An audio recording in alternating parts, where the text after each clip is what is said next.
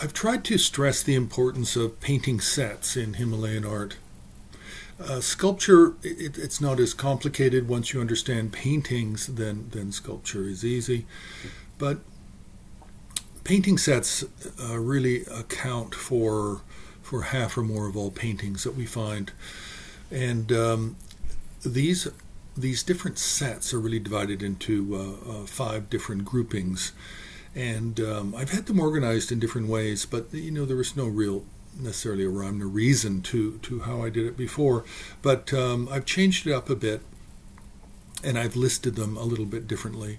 And so now I've list I list them as uh, the five main subjects of painting sets are uh, number sets, life story, lineage, and lineage means teaching lineage as well as it can be incarnation lineage. Uh, then tantric cycles, and the fifth one is uh, compendium or compendia.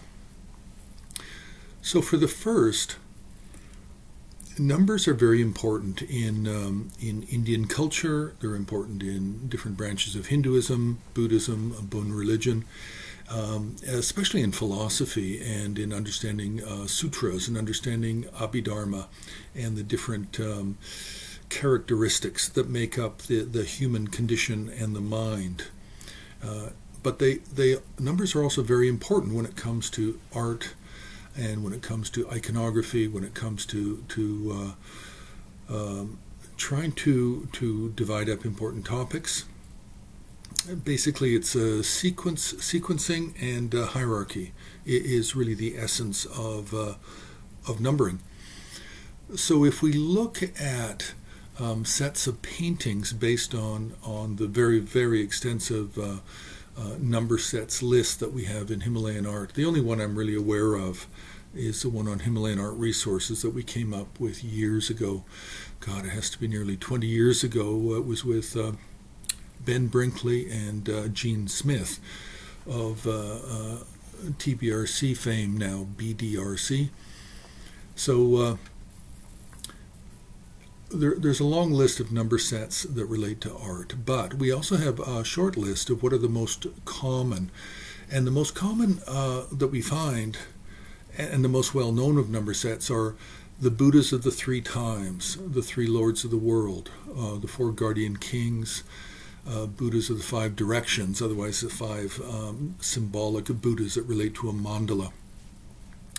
Uh, six ornaments and two excellent ones. Uh, Tara and the Eight Fears, eight Medicine Buddha brothers, eight great bodhisattvas. So you get the idea. These these are the most common, and then there's like another six, seven, eight that are, are quite well known. So when it comes to painting sets, yes, you can put the Buddhas of the three times into a single composition. That's quite common. Uh, but we also find uh, uh, each of the Buddhas is within their own painted composition, and it becomes a three painting set with Dipamkara, Shakyamuni, and Maitreya. Then, with the three lords of the world, we can have uh, Manjushri, Avalokiteshvara, and Vajrapani, each appearing in their own co- separate composition. Um, now, the four guardian kings is a little different. Four guardian kings, yes, we can have them each in their own composition, but generally as as a scrollwork painting, they generally don't exist outside of the 16 great elders, along with Shakyamuni Buddha, his two main disciples, and the patron and the the uh, uh, attendant, Fashang and Dharmatala. So then then it becomes actually a 23 painting set with four of those compositions are each of the four guardian kings. Now the reason it's not uh, uh, a 25 painting set is because Maudgalyayana and Shariputra, the two main disciples of the Buddha, more important than the 16 great elders, uh, the two main disciples, um, actually I should say Shariputra and Maudgalyayana, Shariputra is, is a senior. Um, they are uh, the two main disciples are always painted next, standing next to Shakyamuni Buddha. Um, so that's why it's a 23 painting set, not 25. Um, the five direction Buddhas, uh, five symbolic Buddhas, or the five tantric Buddhas, uh, these are very often painted as a set of five, uh, and then they can have many, many uh, secondary figures around them depending on what tantric cycle uh, that they are uh, being drawn from. Then we have the six ornaments and two excellent ones. Now, this is a very important grouping of the most important uh, Indian uh, Mahayana teachers. Um, and of course, the most famous are, are Nagarjuna and Asanga, uh, Dharmakirti, Dignaga, etc. Um, and so the six ornaments and two excellent ones will each be painted uh, in a separate composition, and generally you would have um, Shakyamuni Buddha or Amitabha Buddha as a, a central painting because remember, uh, most Buddhist sets are odd numbered, and they're odd numbered so you can have a central painting and then have an equal number of compositions on either side of the central uh, uh, painting.